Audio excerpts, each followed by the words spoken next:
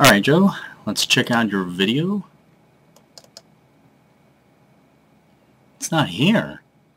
That's strange. Good evening, Joe. It's Monday, May 10th, and... Where in the world is... Your video from last Friday. Way back when, when we first started this FactCAM, Joe and I both agreed that if we were to go over the 3 minute limit or not post a video at all, we would have to emulate what the Vlogbrothers do, and when you have a rule broken, there must be a punishment. Now, in the graciousness of me, as my friend to you, I will only give you one thing to do, and one thing only.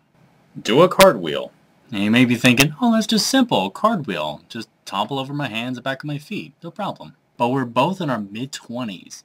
Think about the last time that you did a cartwheel successfully. I'm not talking about that feet side hopping thing that you see a lot of drunk people do. I'm talking about the legit cartwheel with legs fully above your head around in a rotation.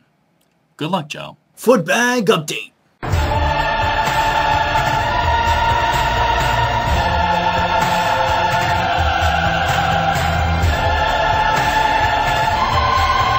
Oh yeah, I got it. Wasn't exactly the first try, but it's done. Now that I overcame that obstacle, new doors are going to be open for new tricks coming in the future. So stay tuned for more crazy and crazier tricks. I just realized I got paid last Thursday. I wonder what I would do if I got paid like a million dollars. Yes, I know, Joe. The first thing on my list that I should get is a new computer, I know. And I know that one-tenth of that has to go to student loans alone. The last necessary thing I would have to get besides a new car would have to be a TV. What's that? You don't believe I don't have a TV? Hold on. Yep. This is a view of my room. See any TVs yet? I didn't think so. Really small room. With no TV whatsoever.